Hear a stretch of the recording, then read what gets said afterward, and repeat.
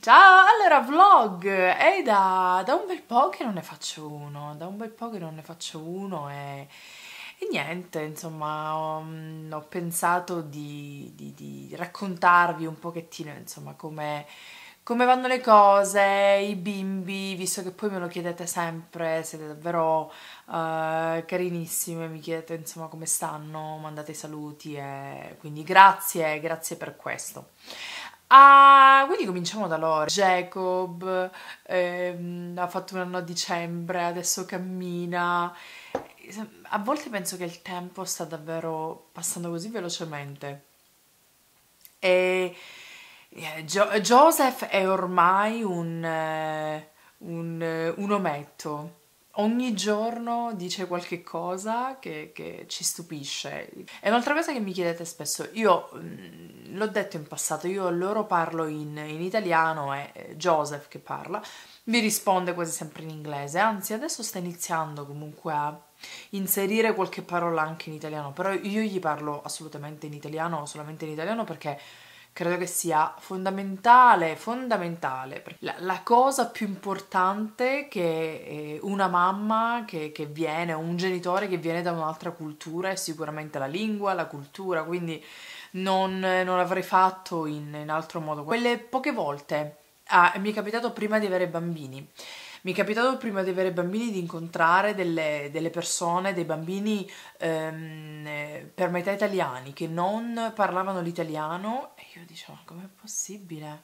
E dentro di me ho sempre pensato, non voglio essere, eh, non voglio fare la stessa cosa perché poi gli neghi una, una, cosa importantissima, essendo per metà italiani, eh, che è comunque un, la possibilità di, di, di, andare in Italia quando vogliono e la possibilità di comunicare, che è la cosa più importante. Succede spesso che all'inizio con i bambini piccoli, magari il bambino che inizia a parlare, che parla da, da poco, um, concentra la sua attenzione su una lingua, che ovviamente in questo caso è l'inglese, e poi con il tempo inizierà a sviluppare anche il, eh, la, la, la, parte parlata, perché comprende, capisce quello che gli dico, e poi quando sarà più grande tra non molto e molt- probabilmente inizierò con delle piccole lezioni di grammatica, eh, lo so, dovrò fargliele io.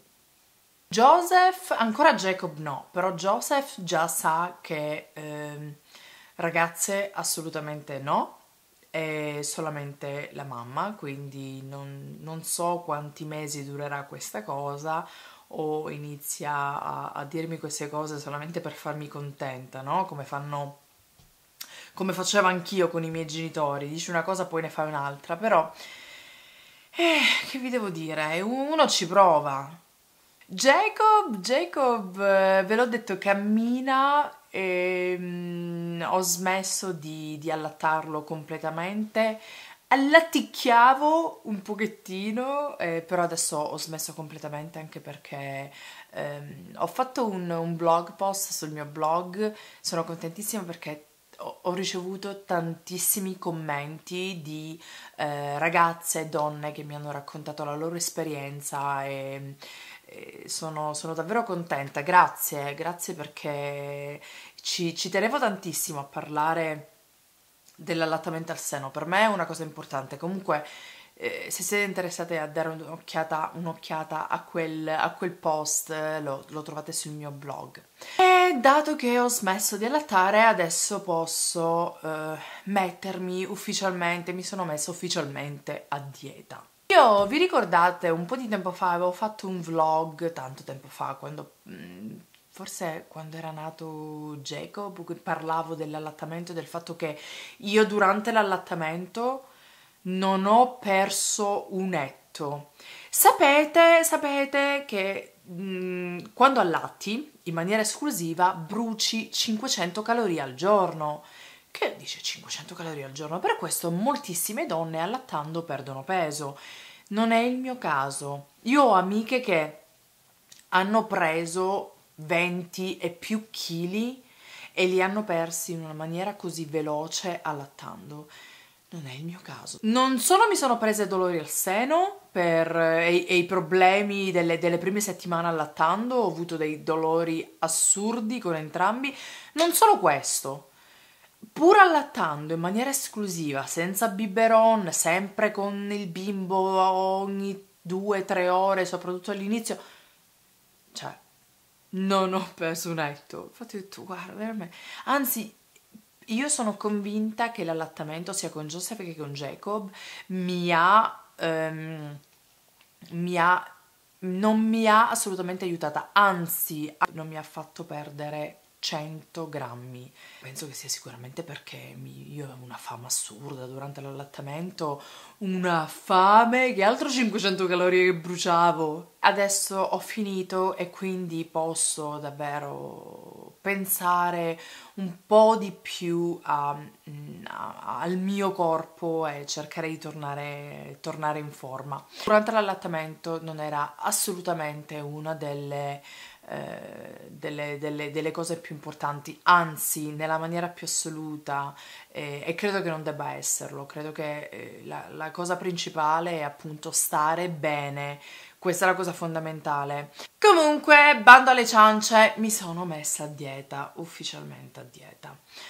Uh, sta, sta funzionando pian pianino, mm, però insomma non è facile, mi sogno il cibo la notte, eh, credo che, che sia normale e che quando succede vuol dire che sei a dieta.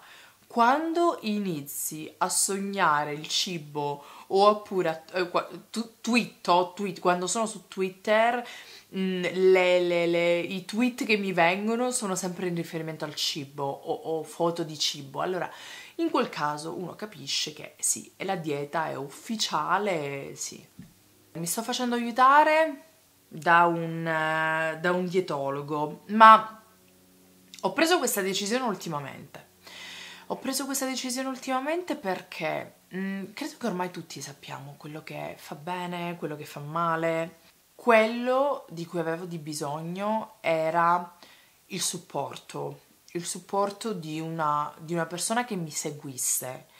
Ehm, e, e, credo che, e credo che è fondamentale, credo che è importante, soprattutto quando si devono perdere tanti chili. Io adesso non parlo non, no, di, di, chi deve perdere 2-3 kg perché quando sento qualcuno che porta una taglia 40 ed è a dieta mi, mi viene da strapparmi i capelli perché dico, cioè non lo dire nemmeno, ma dai, cioè abbi un po' di pietà. Quando ci sono tanti chili da perdere, credo che sia importante appunto avere un supporto. E l'ho capito quando ho toccato il fondo. Cosa intendo con toccare il fondo? Intendo che ehm, mi, mi capitava di passare davanti a una vetrina e vedere la mia immagine riflessa e n- non capire subito che ero io. Non so se, se vi è mai capitato. E, e, ho iniziato semplicemente a non sentirmi ehm, a mio agio con me stessa. Ma lo ripeto, è una cosa che è successa davvero ultimamente perché all'inizio non... la, la mia priorità era nutrire mio figlio e, e, e, sicuramente non era una cosa, sì lo vedevo, che, che lo vedo, che sono in sovrappeso, ma non era la prima cosa che mi veniva in mente, insomma, credo che sia assolutamente normale il fatto di aver avuto due gravidanze così vicine così vicine l'una all'altra. Io praticamente ho smesso di, di, allattare e sono rimasta subito incinta, quindi non ho avuto, quando, eh, quando sono rimasta incinta di Jacob non avevo ancora perso eh, i, i chili che avevo preso con, con Joseph, quindi vi immaginate, chili su chili, avendo due gravidanze così vicine. Ho, ho la grandissima fortuna di avere un uomo che durante la gravidanza con 20 kg in più non mi ha mai, mai, mai fatto sentire eh, non bella, anzi, anzi, quindi era, è una cosa proprio personale, il non sentirsi a proprio agio, che non significa devo mettermi il perizoma e topless e non so come fare. Vado anche, vado in, anche in palestra, comunque ci andavo anche durante l'allattamento, vado in palestra anche perché per me essere più magra di 10 kg e non riuscire a farmi due chilometri di corsa senza morire non vale niente, non significa essere in forma, non significa essere sana. E niente, il mio obiettivo è di perdere peso pian pianino, tornare come, come prima, non lo so, non lo so, so che... Chi lo sa, boh, non, sono, sono davvero contenta al momento di perdere 100 grammi, 100 grammi, 100 grammi, pian pianino, e non, eh, non ho obiettivi. Sì, ho degli obiettivi, ma principalmente non tanto di peso, eh, perché soprattutto quando vai in palestra, ovviamente il, no, i muscoli pesano più della, della, ciccia, quindi non tanto come peso, ma sicuramente come centimetri. Mm io non, non, mi peso tantissimo e non, non, sono mai comunque andata molto con, con i chili. Vi terrò aggiornate, lo ripeto, io non, e non voglio nemmeno, eh, quando mi è successo di perdere peso in passato in maniera sana, l'ho fatto sempre in maniera molto, molto lenta, non credo nelle diete, tipo mangia un fagiolo a cena, no, no, no, ma io voglio mangiare.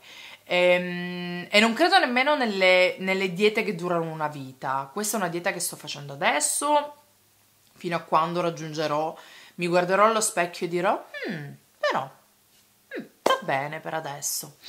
E, e, poi, insomma, mangerò normalmente, che vuol dire anche eh, mangiare schifezze. Credo che sia una cosa normale uno dei piaceri della vita. E quindi, quindi niente, vediamo quando, quando arriverà quel momento, chissà quando arriverà, ve lo farò sapere, non so, magari farò un photoshoot in, in bikini su una spiaggia hawaiana. No, vabbè, no. Eh. Uh, meglio di no. È tutto un bacio. Ciao.